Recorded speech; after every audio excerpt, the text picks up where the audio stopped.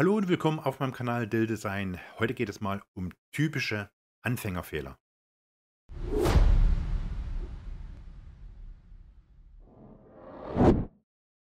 Ich weiß nicht, ob man es wirklich als Fehler bezeichnen kann, die Anfänger machen. Im Endeffekt ist es ja eine gewisse Unwissenheit. Wir haben ja alle irgendwann mal angefangen und wenn man bestimmte Dinge nicht weiß, kann man sie auch nicht durchführen. Das sind die sogenannten Anfänger in Anführungszeichen Fehler.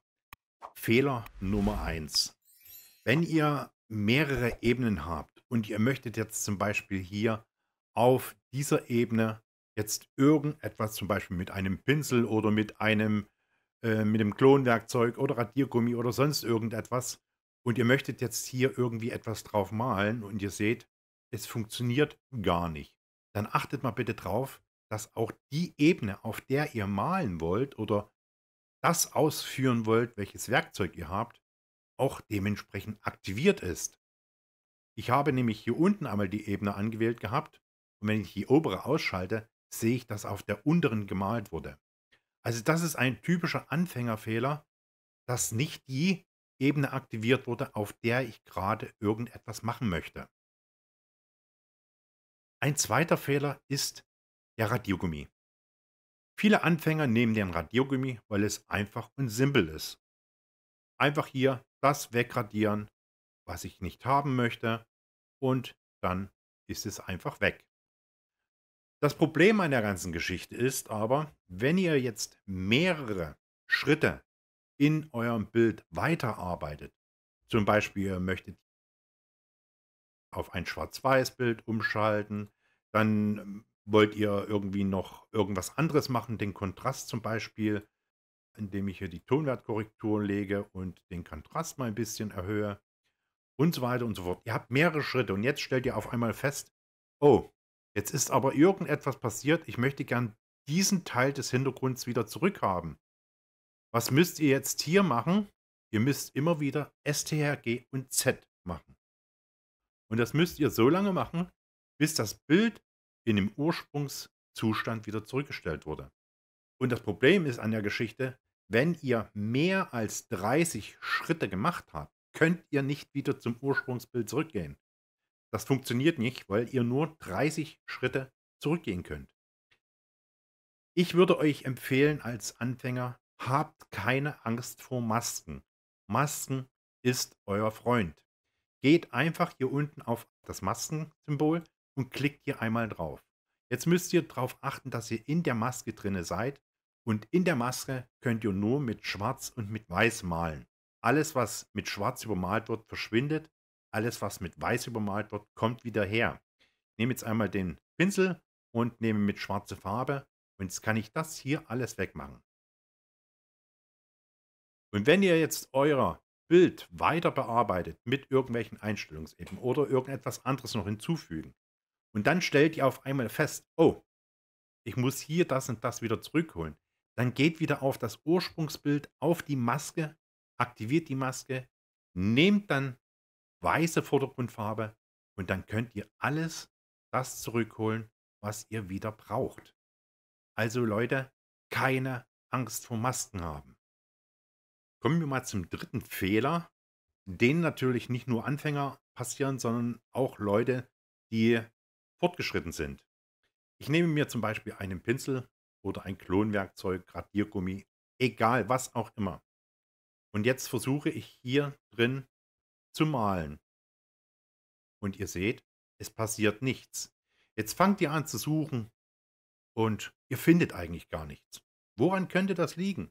Wir gehen mal hier unten einmal hin und schaut mal, was hier ist. Hier ist eine Auswahl. Wie auch immer diese Auswahl hier hingekommen ist. Manchmal passiert es, dass da irgendwie eine Auswahl entsteht, wenn man irgendwie das falsche Werkzeug auf einmal benutzt hatte oder sonst etwas und man sieht es nicht, ja?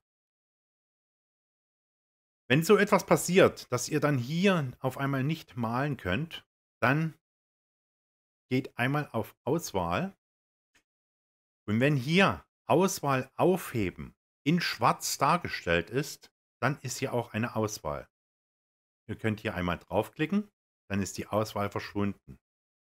Wenn Auswahl aufheben hier so ausgegraut ist dann muss der Fehler an was anderem liegen, falls ihr da nicht malen könnt. Dann kann es durchaus sein, dass ihr hier einen anderen Ebenenmodus drin habt oder dass die Deckkraft eventuell auf Null steht. Dann könnt ihr natürlich auch nicht drin malen. Und wenn ich jetzt hier die Auswahl einmal aufgehoben habe, dann kann ich auch hier drin malen. Einen weiteren Fehler, den Anfänger viel machen, wenn die jetzt zum Beispiel Anpassungsebenen nutzen. Die gehen meistens hier oben auf Bild, Anpassungen und setzen dann irgendeine Anpassung. Farbbalance. Zum Beispiel. Ich übertreibe das jetzt einmal hier. Und dann gehen die wieder als nächsten zum Beispiel, was nehmen wir denn mal hier, Dynamik. Sättigung runter, Dynamik hoch, okay. Und wir gehen dann zum nächsten und Tonwertkorrektur und Bild und Modus und Helligkeit und so weiter. Also ihr wisst, was ich meine. Und jetzt passt euch das alles nicht. Jetzt habt ihr das Problem, ihr müsst wieder alle Schritte zurückgehen. Muss jetzt immer wieder zurückgehen, bis ich zum Ausgangsbild zurückgekommen bin. Ich würde euch empfehlen, als Anfänger, habt keine Angst vor Einstellungsebenen. Klickt hier unten einmal drauf. Hier unten auf diesen halb schwarz, halb weißen Kreis. Und hier sind alle Anpassungsebenen. Und zum Beispiel die Tonwertkorrektur wird als eigene Ebene mit einer Maske über das Bild drüber gelegt. Wenn diese Ebene sich nur auf das Untergrundbild auswirken soll, also wenn ihr hier zum Beispiel noch mehrere Ebenen hier drunter habt und diese Tonwertkorrektur, diese Einstellungsebene soll sich wirklich nur auf das Bild darunter auswirken lassen, dann klickt hier unten diesen kleinen Pfeil, dann wirkt sich wirklich diese Einstellungsebene nur auf dieses eine Bild aus. Und jetzt könnt ihr hier Anpassungen machen, wie es euch gefällt. Jetzt könnt ihr weitere Schritte in eurem Arbeitsprozess vollführen. Und wenn ihr dann irgendwann mal, sage ich mal, 30 Ebenen hier drin habt und dann seht ihr auf einmal, die Ebene hier ist doch etwas zu dunkel, ich muss sie etwas heller machen, dann geht auf diese Einstellungsebene zurück und dann könnt ihr euer Bild nochmal nachträglich korrigieren. Das nächste Problem, was viele Anfänger auch machen, die nehmen das Bild und dann gehen die auf Filter. Und dann ne nehmen die irgendwelche Filter. Nehmen wir mal hier scharf zeichnen. Ja, gehe auf scharf zeichnen. Dann gehe ich auf den nächsten Filter und es soll ein Rauschen hinzugefügt werden, zum Beispiel.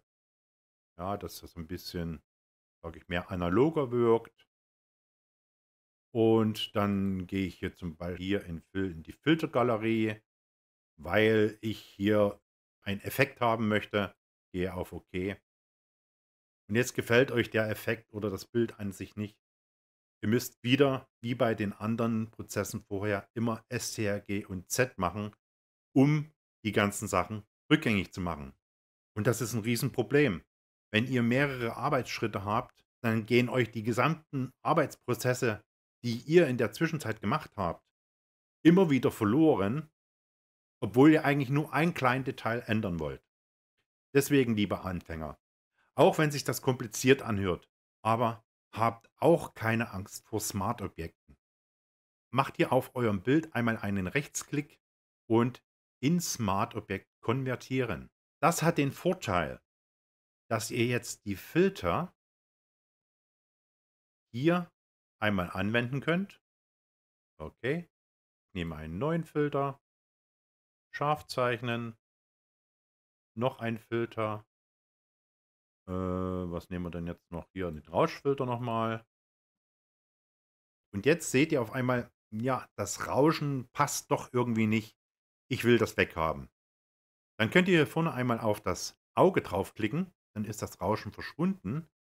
Oder wenn ihr zum Beispiel den Gaußschen Weichzeichner oder irgendwas anderes haben wollt, den, den Filter verändern, weil es irgendwie nicht wirklich zusammenpasst, dann macht hier einen Doppelklick auf diesen Filter und jetzt könnt ihr hier euren Filter noch dementsprechend anpassen. Ihr müsst nicht die ganzen Schritte rückgängig machen. Das ist der Vorteil eines Smart-Objektes. Auch der Vorteil eines Smart-Objektes, wenn ihr auf diesem Bild über Bildanpassungen geht, dann werden diese Anpassungsebenen im Smart-Objekt mit gespeichert. Ihr seht hier Tonwertkorrektur. Wir klicken mal auf OK. Und wenn ihr jetzt die Tonwertkorrektur noch nachträglich ändern wollt, dann einen Doppelklick darauf und ihr könnt jetzt hier nachträglich noch Änderungen vornehmen. Ich hoffe, diese kleinen Tipps und Tricks äh, für Anfänger haben euch geholfen. Ich wünsche euch dabei viel, viel Spaß. Wir sehen und hören uns im nächsten Video wieder. Winke, winke, euer